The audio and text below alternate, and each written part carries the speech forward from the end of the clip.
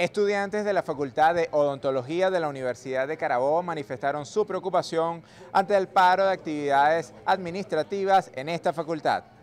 El horario conflicto a brazos caídos que desde el pasado 3 de octubre cumplen trabajadores de la UC en algunas dependencias de esta casa de estudios han afectado de manera notoria las actividades académicas en esta facultad.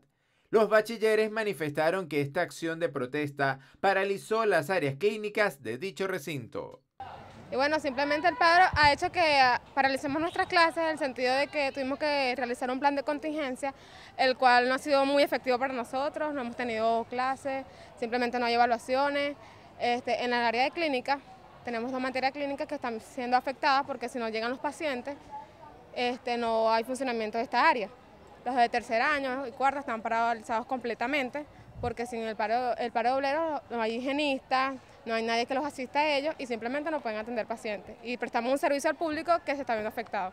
Nos afecta de tal manera de que el personal que labora acá, que entre esos están las asistentes y mucho otro personal, ellos laboran y nos, nos proveen a nosotros del el material y el instrumental necesario, ¿verdad? Para nosotros realizar nuestras actividades clínicas. Este personal, ellos comenzaron con un, con un este, horario crítico, ¿verdad? Un horario conflictivo, donde ellos laboraban solamente tres horas. Debido a múltiples problemas que ellos tienen este, y unas exigencias, ellos decidieron irse a un paro este, indefinido.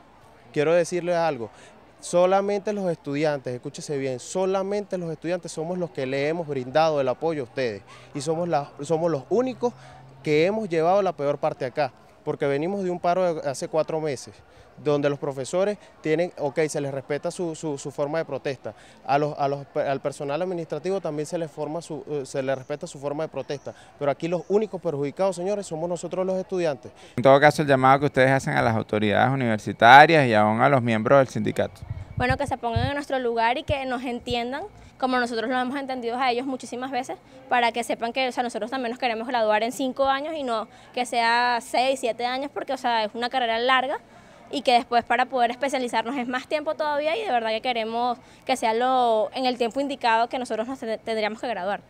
Los estudiantes reiteraron la necesidad de establecer un diálogo inmediato entre autoridades universitarias y trabajadores a fin de solventar esta problemática que afecta a la consecución de su carrera. Desde la Facultad de Odontología de la Universidad de Carabobo en Bárbula, reportó para UCTV Noticias Nicolás Brizuela.